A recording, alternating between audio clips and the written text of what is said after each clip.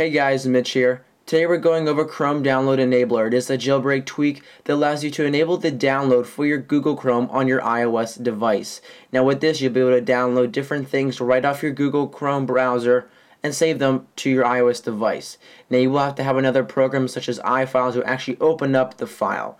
So if we head over to Chrome here, the downloads will be displayed in this following URL. If you want to go ahead and type in H http semicolon backslash backslash and then download and you hit go. This page will continue to refresh and this is where the downloads will be stored once you have start downloading them.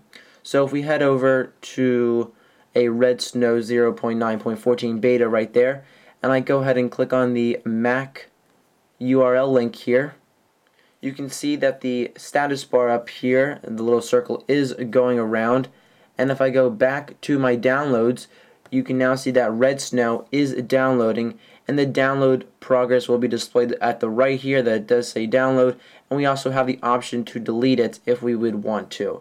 So I'm gonna go ahead and let this download for you guys. Once the file has been downloaded you can go ahead and click on it and it will redirect you to the app that it will open up. In this case it is iFile and with it you'll be able to unarchive it and it will be downloaded right to your device here. So you can do these with different pictures. Uh, if you can get uh, MP3s to work, this will work, or even videos, and you will be able to actually play them right on your device using iFile for your Chrome download enabler.